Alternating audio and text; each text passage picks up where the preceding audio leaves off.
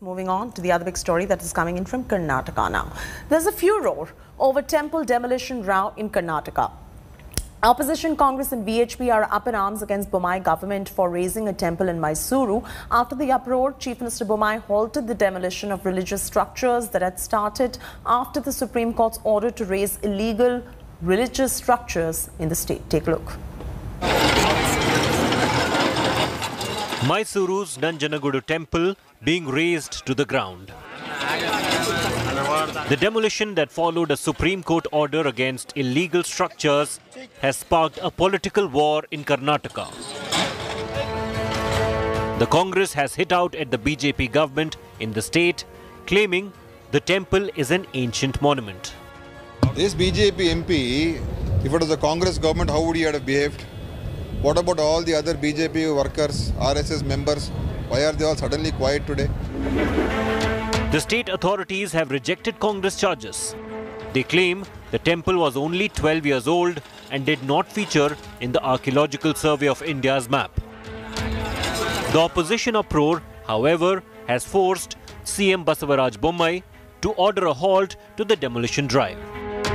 ಎಲ್ಲ ವಿವರಗಳನ್ನು ನಾನು ಸದನದಲ್ಲಿ ಅದರ ಬಗ್ಗೆ ಹೇಳ್ತೀನಿ. ಒಂದು ಈಗ ಈಗಾಗಲೇ ಏನು ಅದು ಹೊಡೆದಿದ್ದಾರೆ, ಯಾವ ರೀತಿ ಕ್ರಮ ಯಾಕೆ ತೆಗೆದುಕೊಂಡಿರಿ, ಎಲ್ಲರನ್ನು ಕನ್ಸಲ್ಟ್ ಮಾಡ್ದೇನೆ ಅನ್ನುವಂಥದ್ದು ನೋಟಿಸನ್ನು ತಹಸೀಲ್ದಾರ್ ಅವರಿಗೆ ಡಿ ಸಿ ಅವರು ಕೂಡ ಕೊಟ್ಟಿದ್ದೇವೆ.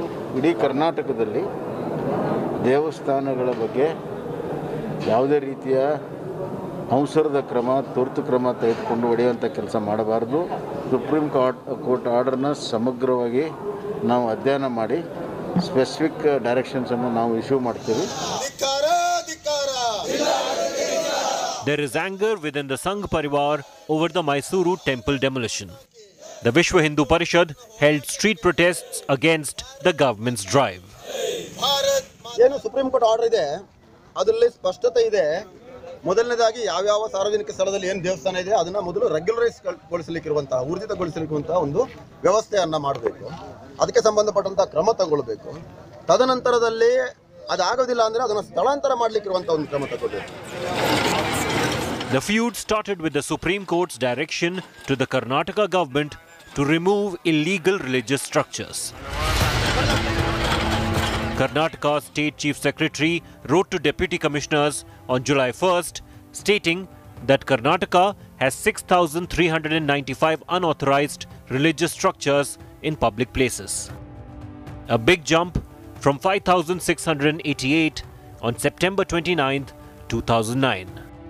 In 12 years, the state government was able to demolish, relocate, or regulate only 2,887 structures. The state chief secretary had directed officials to demolish at least one illegal structure per division. The BJP, which is often accused of playing temple politics, finds the tables turned this time. While it may have temporarily salvaged the situation, the Bommai government will have to look for ways to execute the Supreme Court order. With Nagarjun Dwarkanath in Bengaluru, Bureau Report, India Today. Obrigado.